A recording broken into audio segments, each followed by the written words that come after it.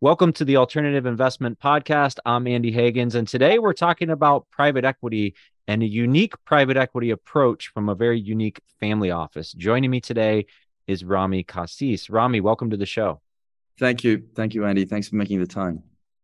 And, you know, b- before we even get into private equity, you know, anyone who comes on with a family office, that's always where it starts. It's always so interesting, you know, if it, and I don't, you know, DJ Van Kuren, uh, we've had him on the show.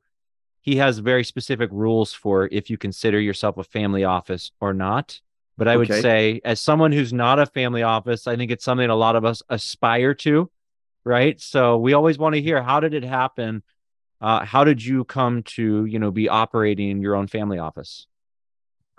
Right. Um, I'll probably start off by saying I'm not the traditional family office, and I'm happy to talk about what a family office typically looks like.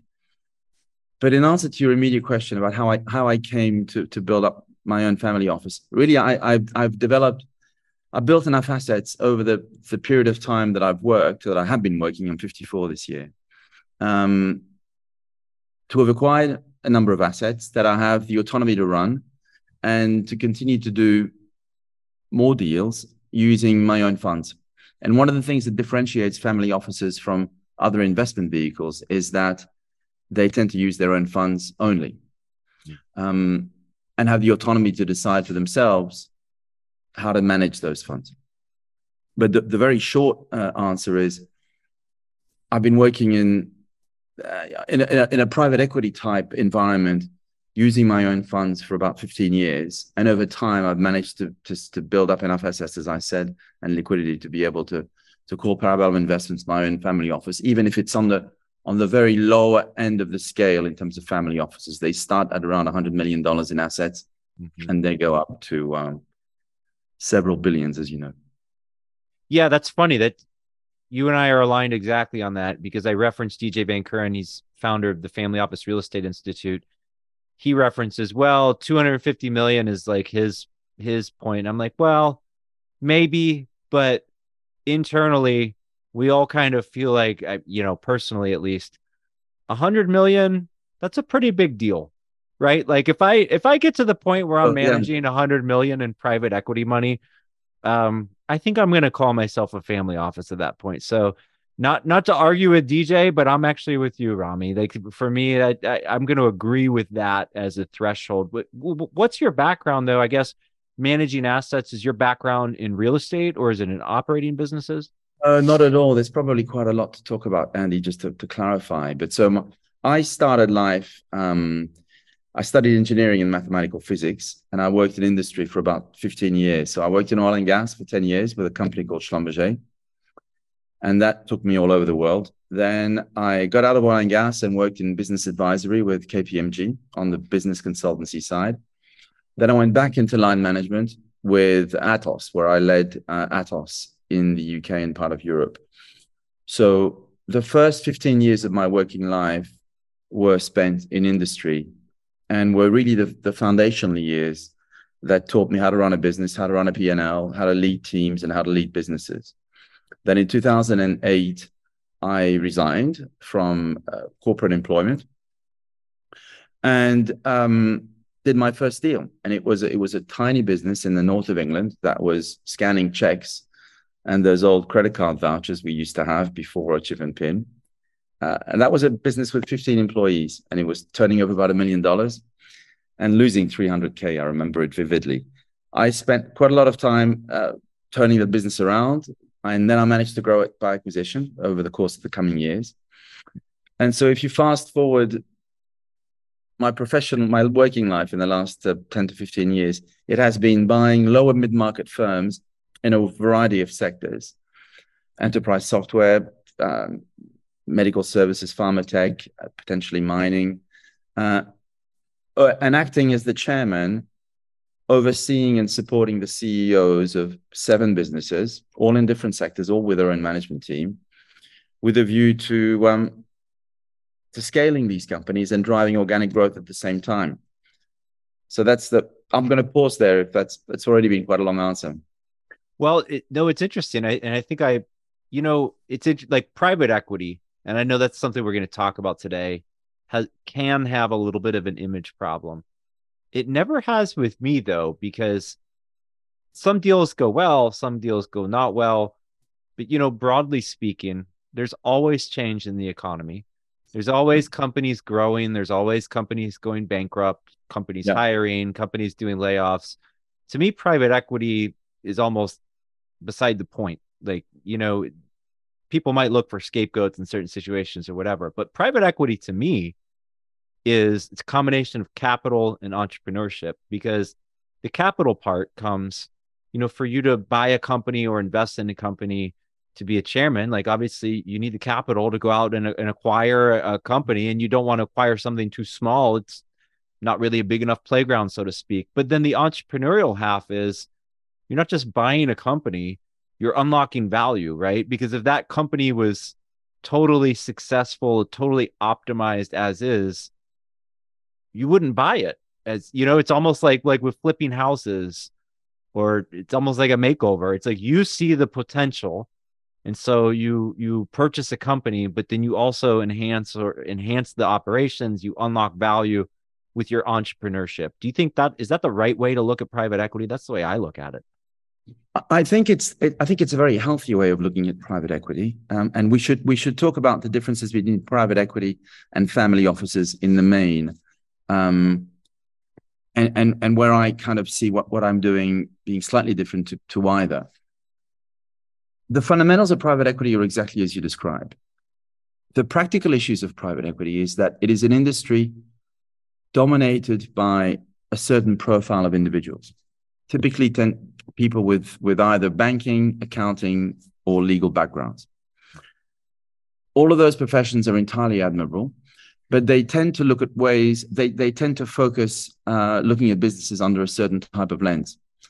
And I think what private equity could do with is greater professional diversity in the types of roles and the background of individuals who work within those firms. Because um, it is very much focused on the numbers and on forecasting and and uh, a lot of market study, which is perfectly sensible.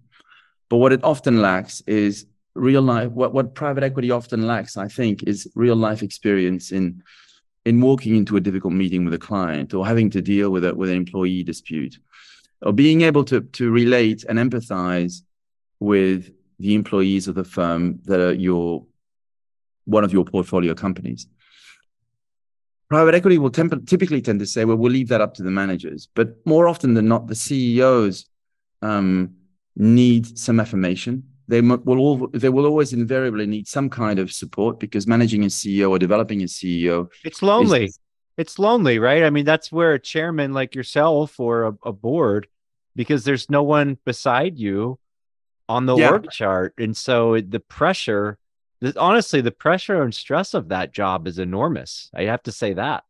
Absolutely, Andy. And you, just as just as any management team has strengths and weaknesses, same applies to a CEO. We look at CEOs as, as if they're these all-knowing individuals. And CEOs typically tend to move up to that role either through sales or operations. And uh, for what it's worth, my background has been operations, which makes me particularly strong in some areas and not quite as strong in others. CEOs need development in just the same way that management teams do. And providing the CEO with that level of support and guidance is something that is lacking because private equity tends to typically manage through board meetings. Um, the answer is not always let's make another investment or let's do another acquisition because often these acquisitions, if they're not properly integrated, make the company look like a green-eyed monster. And um, there's also a human element to both the CEO and the employees who know that a company is private equity backed, they will also know that the business is going to come back to the market for sale in three, four, or five years. Mm-hmm. But it's quite destabilizing for employees. It's just as destabilizing for clients. And uh, that timeline, often dictated by LPs, as you know, being one yourself, um, drives a lot of the behaviors of CEOs and management teams as they get towards the latter stages of the three to five year. Uh, well, I, I want to pause. I want to pause you there. That's there's so much to unpack there, but one really interesting thread. Well, well, first of all, I'm not the target market uh, that private equity is a bad guy. I was thinking before we recorded, you know, I was looking through my notes in preparation and I was like, you know, thinking about private equity having an image problem. And I, I acknowledge it kind of does, but I was thinking it does it with me. And I remembered there was this book I read, and I think I read it in like eighth or ninth grade. It was called Barbarians at the Gate. Yeah, yeah, yeah. The uh, the the the KKR takeover of uh, Nabisco. Yeah, and I never saw it. It was based on a movie, right? But I never saw the movie. But I read that book in literally eighth or ninth grade, some uh whatever, 13, 14, 15 years old. Yeah. And like even at that age, I was thinking, well, this is kind of cool. Well, you know, number one has the drama, right? It's like corp corporate warfare, hostile takeover, you know, all that kind of verbiage. Like as a young man, that's kind of exciting. But yes. I even even at that age, I think I kind of understood there's an issue with large corporations, just like in government, any large organization, with alignment of incentives or misalignment of incentives. And the fact of the matter is, at many, many organizations, incentives are not well aligned, correctly in line. And, and maybe some of that is um some of that is just intrinsic, right? An incentive for an employee will never be the same exact incentive as a business owner. But yeah. broadly speaking, I like the idea of private equity coming in and helping to align incentives because a, a lot of even today, like even in in the United States, at least, a lot of our major corporations, sometimes their executive team, they're being motivated by um, being popular or being fashionable or being applauded by the media. Yeah. And it's it's not in the interest of shareholders. And there's more obviously there's more stakeholders since it's the shareholders. But I guess I just broadly I don't have a problem with someone identifying an asset or company and saying this is being mismanaged or at least it's it's not reaching its full potential and and coming in and buying it and trying to restructure it but one interesting thing that you said was just the the private equity uh the the thought that everyone is thinking they're only going to be here for 3 months and then they're going to flip this company or excuse me 3 years and then they're going to sell the company again that does create a lot of psychological toll. But with a family office, I'm thinking, well, wait a minute. I've done private equity deals, and eight years later, I'm still owning it, and I'll be happy to own it another 30 years. You know, I'm thinking one deal in particular. So is it does private equity always have to be that kind of a flip, or are there family offices doing these kind of deals where they're unlocking value and then they want to own the asset for the long term? Well, there's a couple of questions you raised there. So, does does private equity always have to be a three to five year hold? Probably not, but more often than not, that's the that's the time horizon dictated by LPs, by the, their their investors. VCs, we should come back to. We should discuss briefly. I think have a healthier approach to that, incidentally, because I think they're they're prepared to hold on for longer, but they're also prepared to cut loose some of their poorly performing investments. Whereas wow. private equity, as you probably know, Andy, will be less likely to have a bad sale because it impacts their next fundraising round. Mm-hmm. So you don't want to crystallize a loss um, by selling it on the open market. And it's easier to, to, to mark to market the valuation on a quarterly basis, which is what most PE firms do, and somehow embellish, embellish the, the valuation of, of an asset that, that might be probably worth a little bit less. I've heard that that can happen, Rami. I've heard there could be a little embellishment of valuations. I like yes. that. so crystallizing the loss is never great for your next roadshow. Now, on the family office, uh, which I'm probably not an expert on either, but from what I know of family offices, there's a few characteristics. Firstly, it's their own money rather than an, an investor's money. So that means something, I think, both emotionally and in terms of the focus it brings to mind for those individuals deploying money. The problem is that the overwhelming majority of family offices have a remit of not losing money. Mm. You know, there's an old saying that it takes two generations to lose the wealth that was made by their great grandparents. Mm-hmm. More often than not, family offices are there to preserve the wealth generated by a generation and ensuring that it's still there two or three generations down the road. The problem with that is that, firstly, it's a great burden on the on the subs- of the children of, of subsequent generations because they either, forgive my language, up the wall or are so paralyzed about losing it that they end up putting it into German bonds or US bonds or something. But their, their approach and attitude to risk is fundamentally different. Mm-hmm. Precisely because the mandate is, well, I can hold on to this asset for a long time. Um, but I don't want to take any risk about I don't want to take the risk of losing it. And uh, it drives a much more defensive behavior. Yeah. That is in many ways on the opposite end of, of where private equity and certainly VCs are. So I don't know if I answered your question there, Andy, because I feel I was rambling a little well, bit. Well, no, no, no. I, I liked it a lot, but I guess my my point was to me, you know, when we're talking about like an LBO fund or certain types of private equity funds, to me, private equity is larger than that. Right. Like I I invested, purchased a, a portion of a business, you know, six or seven years ago. We didn't take on any debt. We just did a deal. And to me, that's private equity. It's I mean, it's not it's not a huge deal, but it's not it's not a stock, it's not a bond, it's a private deal. And so, you know, if I look at private equity in that very broad lens, and you know, we are kind of talking, you know, technically speaking, venture capital is part of private equity. Right. So t- to me, part of this makeover, this public image makeover needs to be private equity is much more than a leveraged buyout fund with a three year hold. I mean, that maybe it's the most no- notorious part of private equity, but there's many other types of private equity. I, I completely agree with you.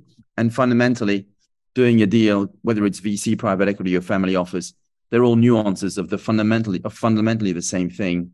Mm-hmm. But where the difference lies is is the invest is in the investment style and behavior of the of the individuals managing the investment. Mm.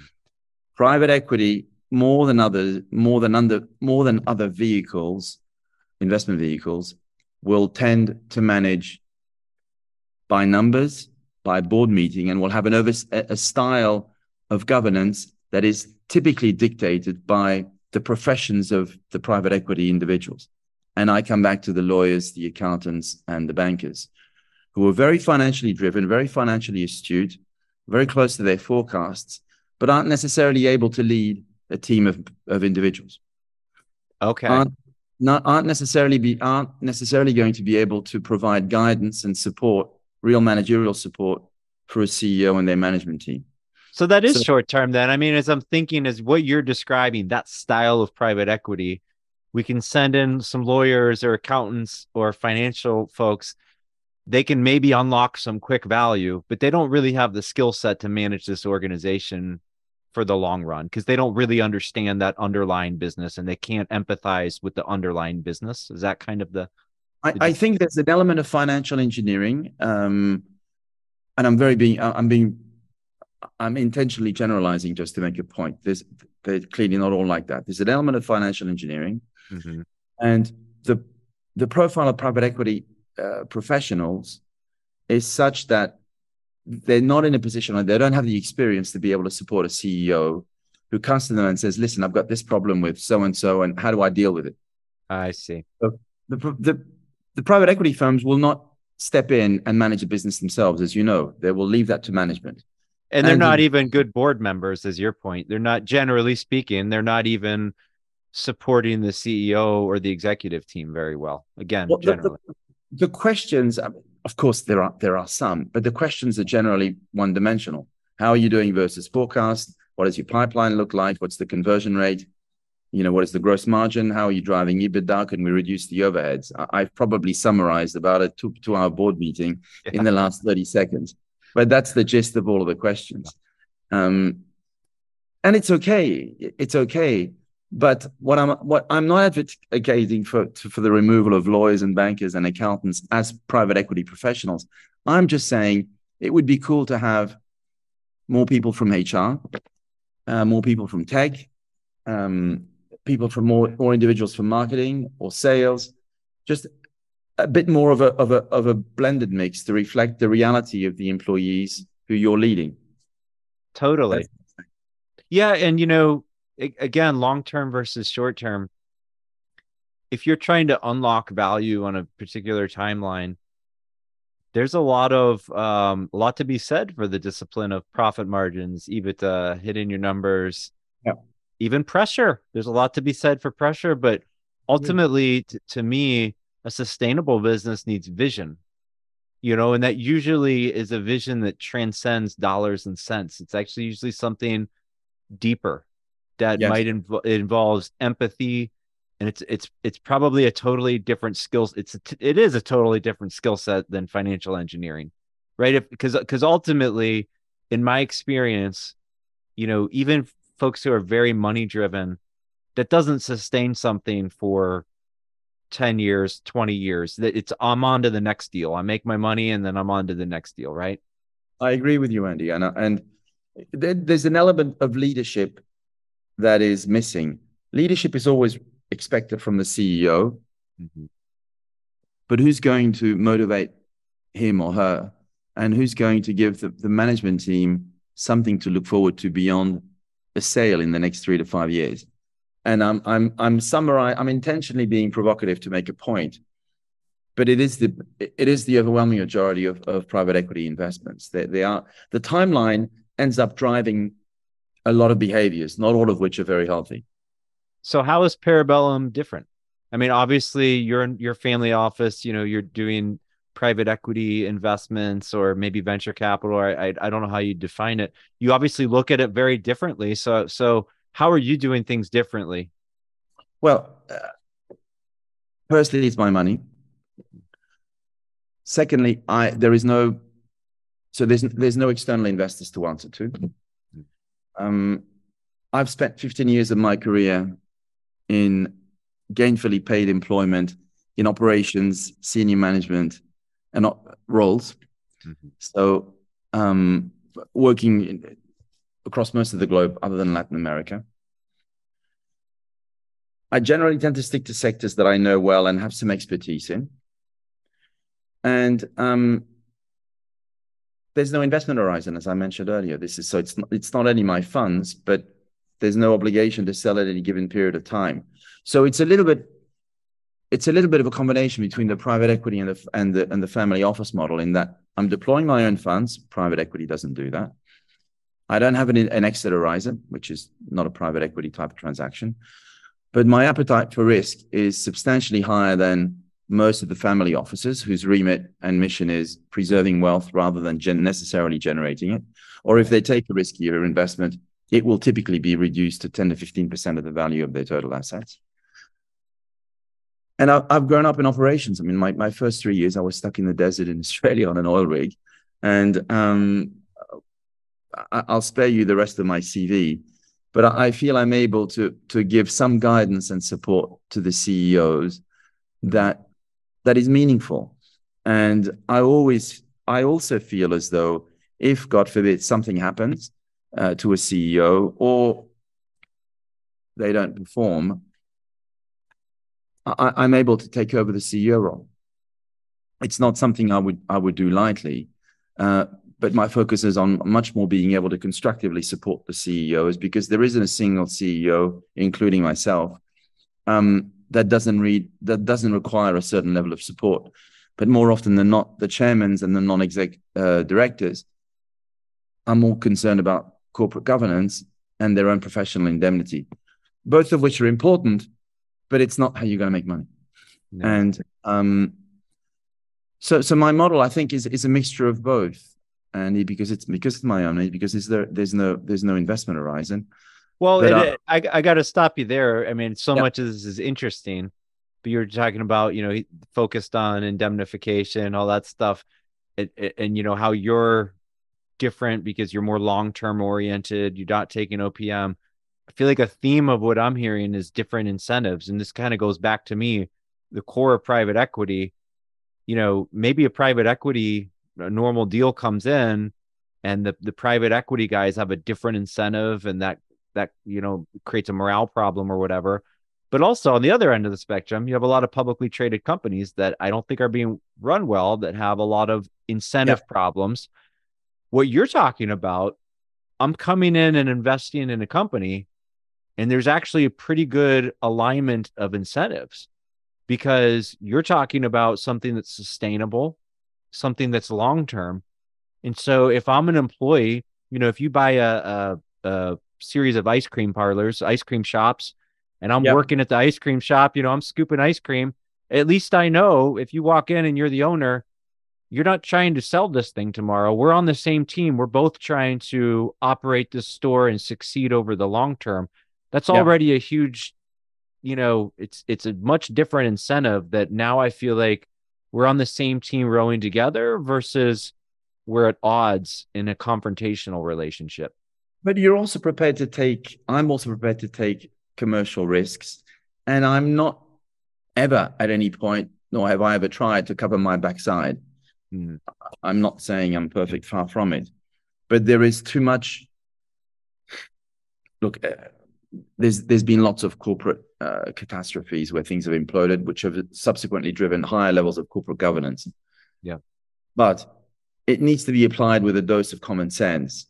And more often than not, it's corporate governance and compliance that rules the day, especially in public companies, obviously. I understand why. But even to a certain extent in private investments, in, in many of the non-exec type directors that you were referring to earlier. So there's a there's a number of considerations and angles that I think are, are a little bit different once you've you've lived through Mm. what a painful board what a board meeting looks like in the public market. I was listed for for about a couple of years um, previously as a CEO and chairman. It's a very different environment to working alongside private equity. I know, I, And Rami, it's funny. It's like I, I haven't really been in the corporate world ever because I was an entrepreneur right out of college doing startups. It's to me, it's like unfathomable, uh, almost that we have these large organizations with their board of directors as a bunch of people without skin in the game. Yeah. You know, I'm just like, of course that's going to create huge problems. Isn't that obvious? You know, so to me, if a private equity family, like just even having your own skin in the game, to me, it's already just better, immediately better. I agree with you. I, look, I think it's a super healthy approach that uh, that you're taking, Andy. But not having skin in the game applies not only to the corporate sector, Yeah. but it equally applies to the private equity industry because, as you know, if they invest anything, it will typically be a token investment, certainly sub five percent, but typically around around one or two percent. Mm. And the main incentive, other than fees, is the carry, and the carry is only realized upon exit. So, um, different disincentives. I see. You're both both of those models have different misalignment of incentives. but ultimately, I guess what I'm saying is, um, notwithstanding the fees, which are just meant to be there to pay the bills, um, for private equity professionals, individuals working in that industry, the only reasonably large payday they get is through a carry incentive, which is only crystallized when the asset is sold. So, and and I, and I don't like I don't like that treadmill, and I, I I it's not cool for it's not cool for employees. And I've had many clients with deals that I've done interview me at before acquisition or just on the cusp of, of announcing one, asking, "Am I a private equity person?" Now, I, I like to think I don't necessarily always, not always. I don't think I sound like one, but more importantly, they want to test whether or not this thing is going to get sold again in three or four years. Um, but anyway, that, that's a point we we've talked about. I think Uh, that's no Rami. That's the point where you can say, I've bought these other five portfolio companies. Yeah. Here's their CEOs or their minority owners or whatever. Go call them and ask them. You know, like I'm thinking of I'm thinking of Warren Buffett and Berkshire Hathaway, where you know the guy bought furniture stores or candy companies or whatever in 1970, and he still owns the store yeah, I, he's a, 50 he's a, years later. You know, he's a tremendous icon. There's there's there's no doubt. So I think, um, yeah, that, that I, I don't think I have anything to add to that point. Well, is this? Let me ask you this. I mean, I, I think I agree. I, I I guess on a very macro level, I Yeah. love long term thinking. Short term value is okay. Like I have nothing against short term value, unlocking value, buying a company, flipping it. It's not immoral. It's not evil. But to No. me, ultimately, it's not that exciting. To me, with the really exciting stuff, builds huge long-term lasting value for everybody, right? Like think of like a Steve Jobs, he built an enormous fortune, but he also built value for, you know, all of us with our iPhones. Yeah. Yeah. It, but that was long term, right? That's not something that that's not a two or three year flip. So was many years, as you know. I mean, it was um, it, it was it's been a long journey for him. Sorry, Andy, I interrupted you. No, no, it's all. But what I'm wondering, it sounds to me, you know, you're taking, you know, you're you're you have a more diverse skill set than a lot of private equity professionals because you are so involved in the operational level.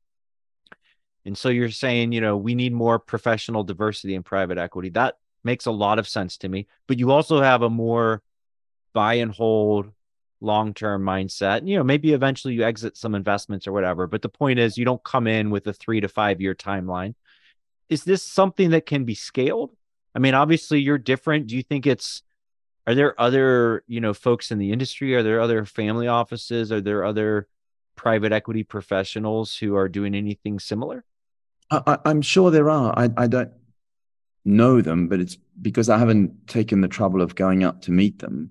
Yeah. Um, there, there's some very obvious names that are obviously been hugely successful on a much larger scale. So, uh, Martin Sorrell from WPP, I think, set up his own family office. Um, there are, there will no doubt be a number of entrepreneurs who've done very well with their own businesses, mm-hmm. and rather than have passive in, passive investment in in other funds, will decide to recycle their wealth into other deals type of deals may be different.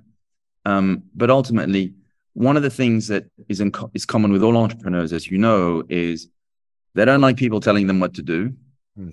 They all have a bunch of they all have a bunch of battle scars, and they're not afraid of risk.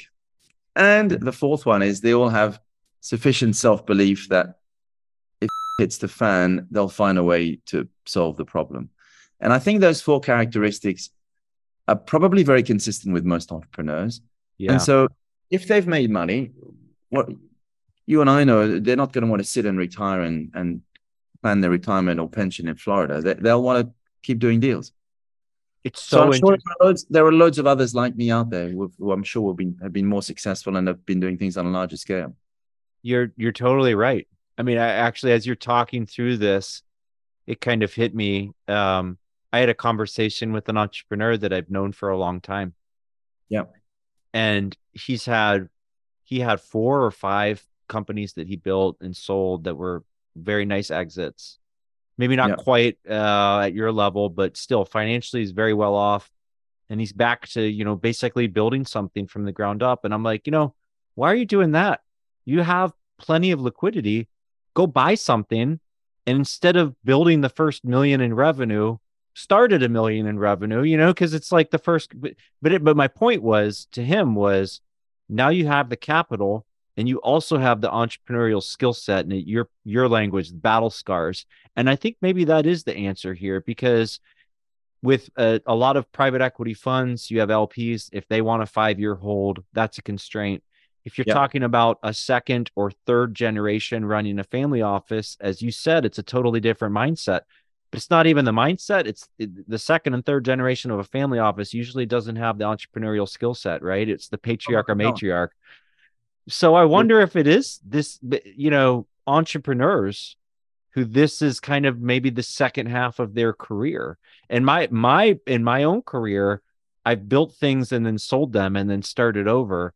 And I've sort of slowly come to realize I like private equity and alternatives better because instead of you know starting over starting from zero as an entrepreneur you can combine your capital with your entrepreneurial skill set it sounds like that's what you're doing just at a very high level it, no it, it is exactly what i'm doing Andy, because i don't i have neither the, re, the creativity nor the skills to start a business from scratch that much i know i also learned from my own corporate career that i was pretty good at running teams uh, pretty good at running operations and a P&L.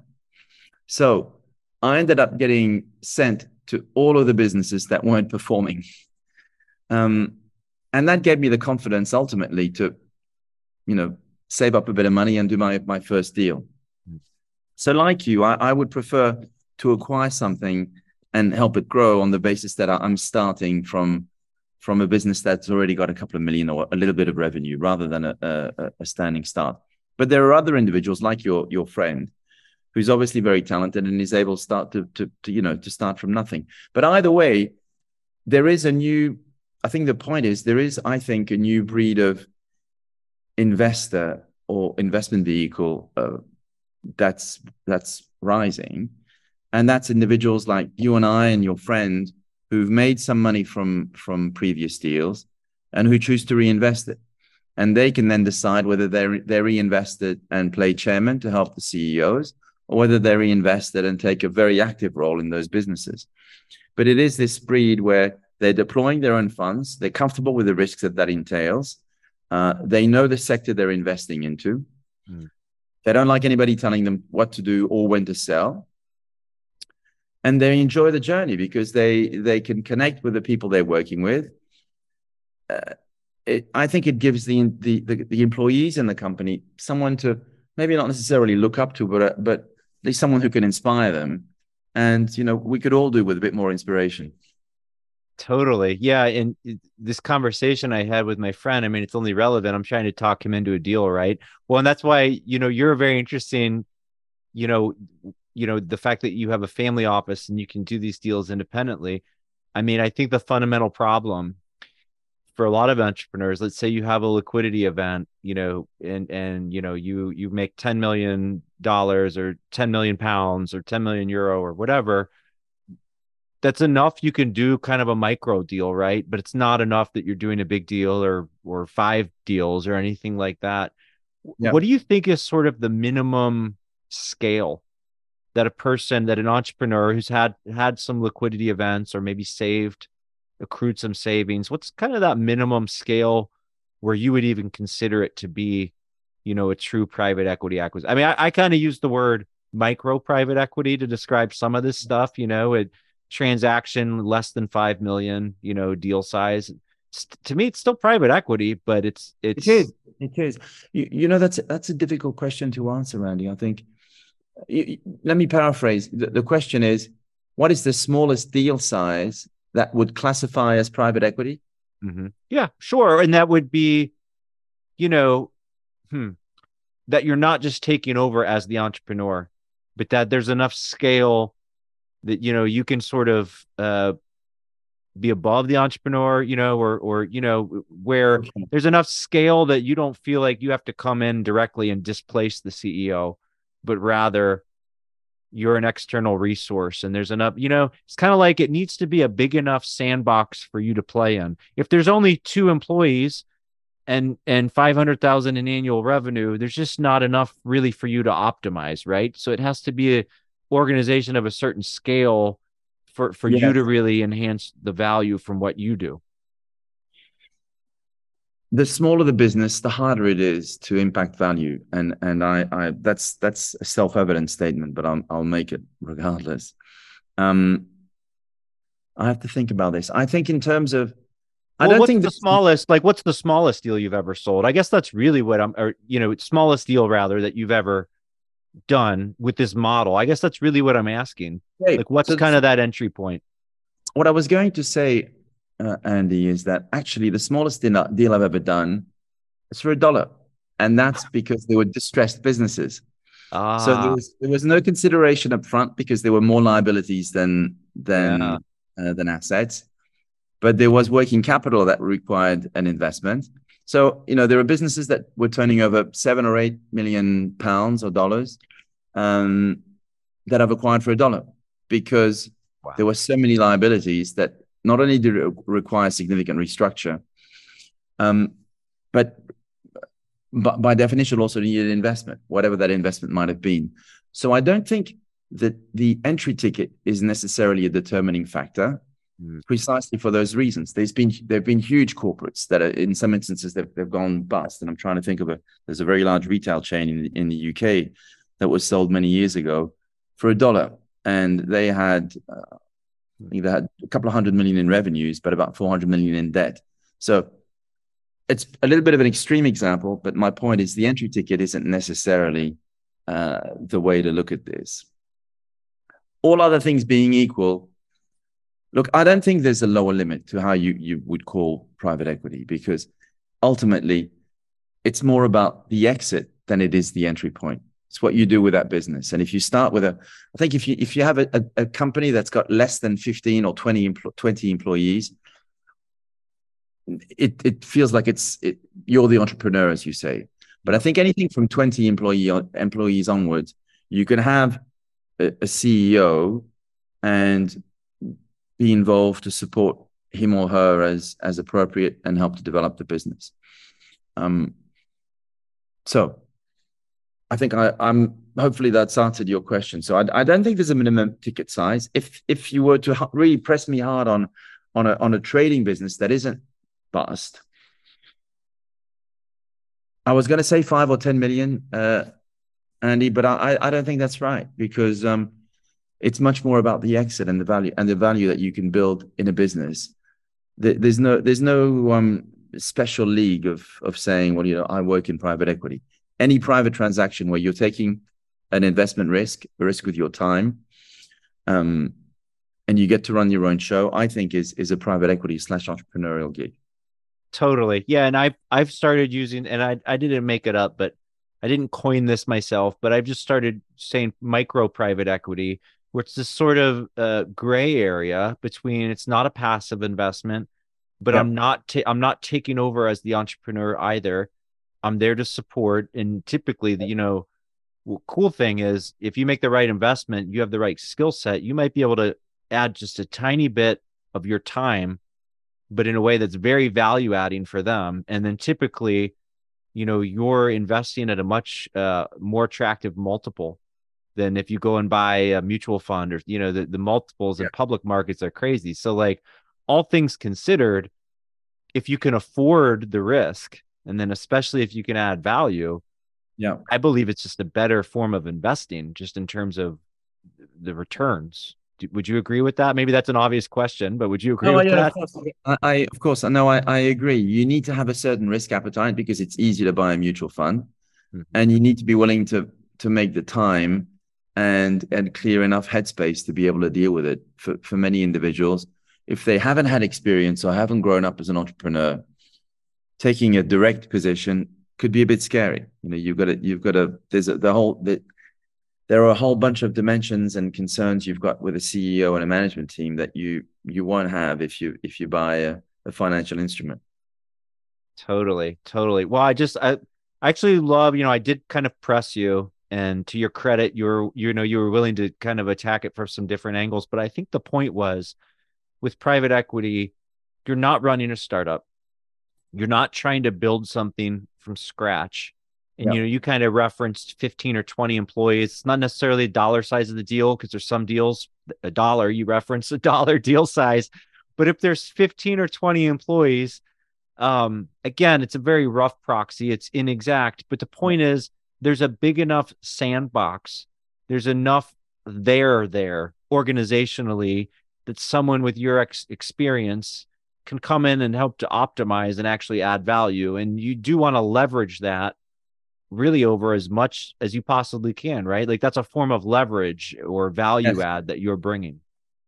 Yeah, no, absolutely. I mean, if you start with 15 or 20 employees and um, you you manage to get the business to be cash flow positive and uh, you win a couple of contracts, you might be able to do another acquisition with your own funding, part of which may be self-generated by the business to buy another business that does 10 or 15 that has 10 or 15 employees.